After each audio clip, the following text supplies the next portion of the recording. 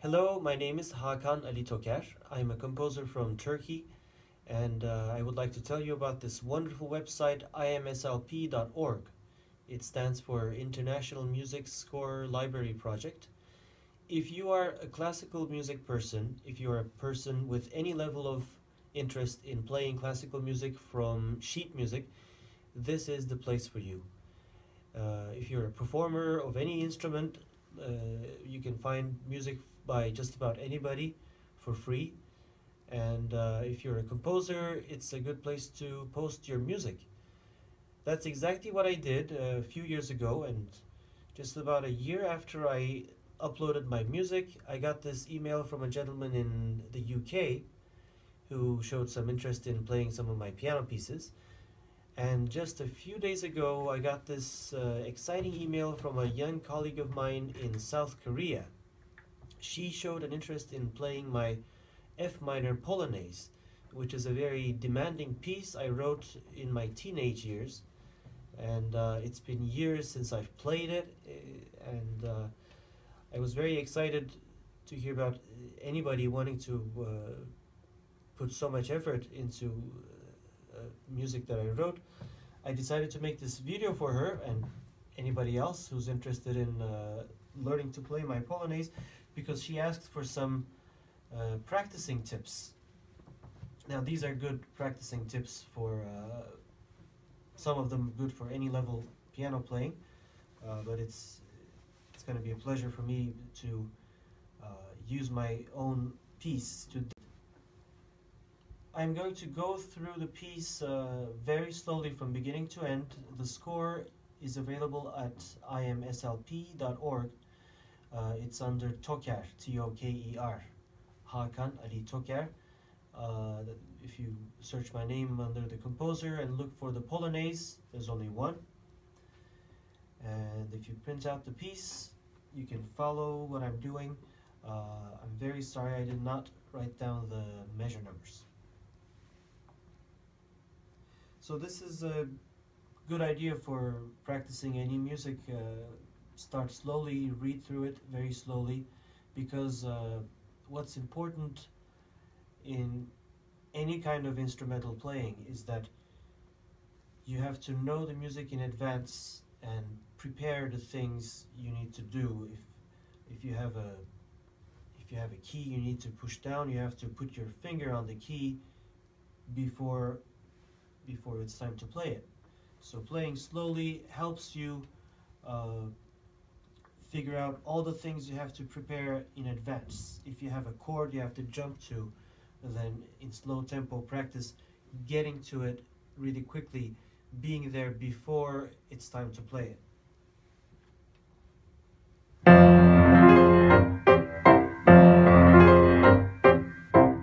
And there's always this uh, factor that in uh, a musical score you always see one dynamic piano or forte or anything uh, except for exceptional cases. As a pianist you always have to distribute your strength your uh, dynamic forces across the keyboard. And if it, if it says mezzo forte on the page it doesn't mean all the notes are supposed to be the same. You have to have the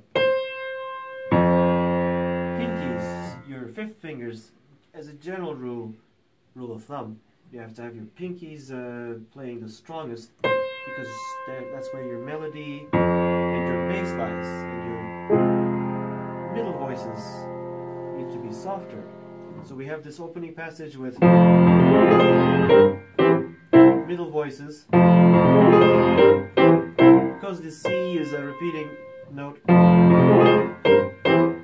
could choose to emphasize the C or you could choose to emphasize the the middle voice. It's up to you. I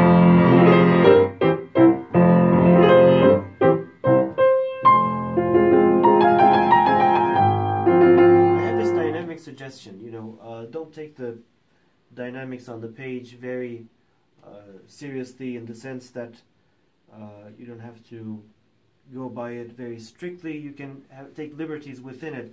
For example, uh, it's been years since I wrote the piece, and I've, I've matured as a performer since I've written it. Uh, now, as I play it, I want to have this strong beginning, but then bring down the dynamic to a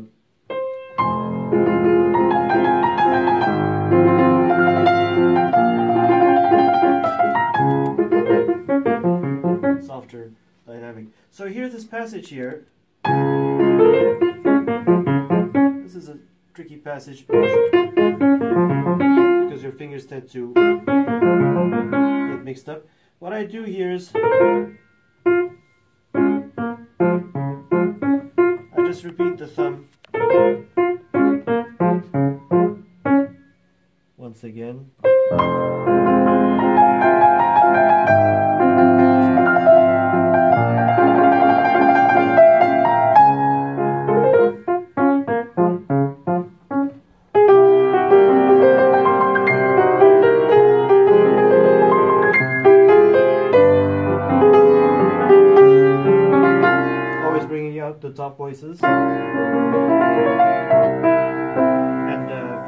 melodic line.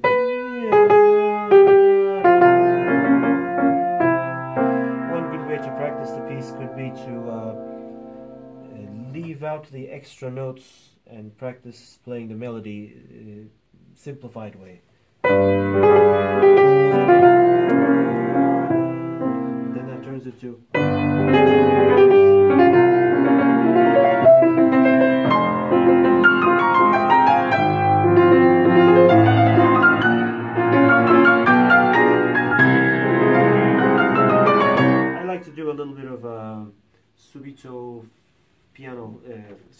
subito forte piano over here. Instead of going down totally forte the whole time, you can do crescendo back to forte.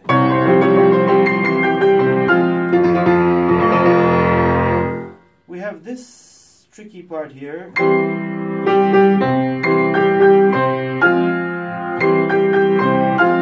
how to practice these octaves? My piano favorite piano teachers, uh, Anna Malfridur Sigurdardóttir from Iceland, she taught me this uh, method. If you can do something uh, harder, if you if you can take a passage, say if you're going to go from this chord to that octave, if you add an extra octave to it, or two,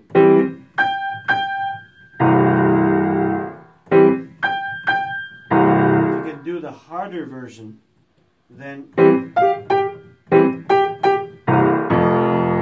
then the actual version becomes easier.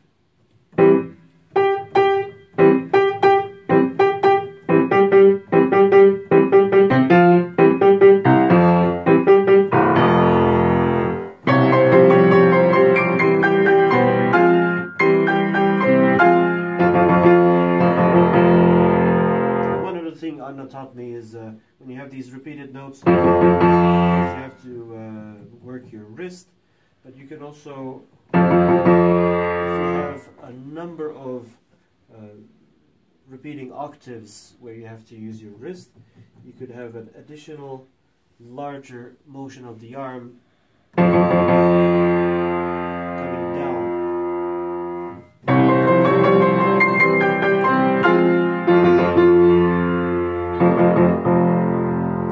going on to the B section, we have this forte, sempre forte passage. To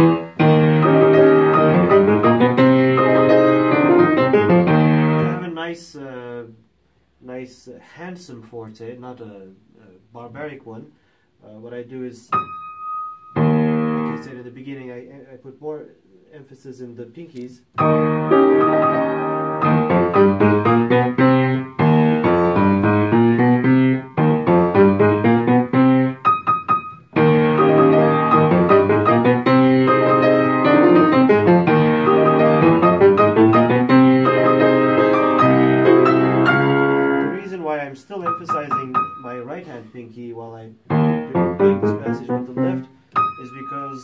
Going to turn into a new melody. The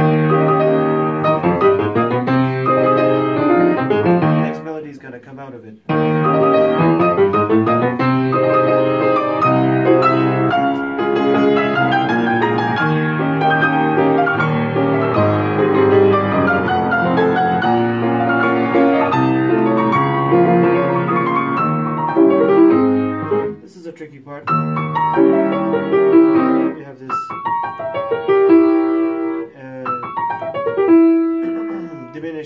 Arpeggio, and uh, Anna taught me to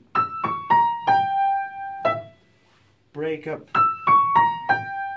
This is what she used to call the breakup method. You play. There, there's two ways to play a arpeggio or a or a uh, scale. To play it completely legato, when it's time to pass over the thumb, you can reach out and connect every note. But when you have a fast arpeggio, from the thumb on, you can break and jump immediately to the next position. But for this to, to work effectively, make sure you move your elbow and uh, use your body to move around the keyboard to keep your elbow in line with the keyboard, with the keys.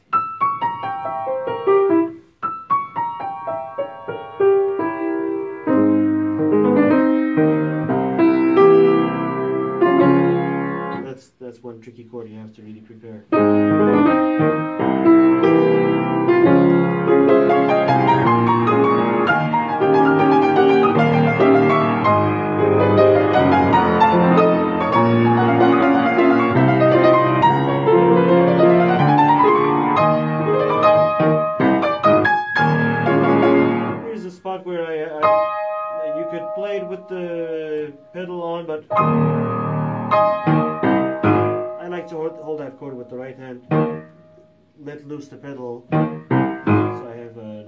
Here's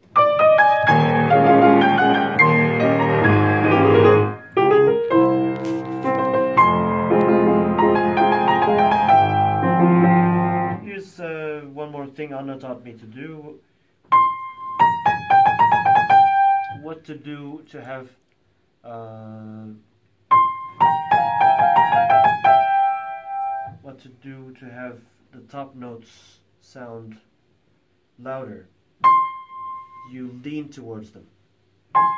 Instead of playing like this, you do.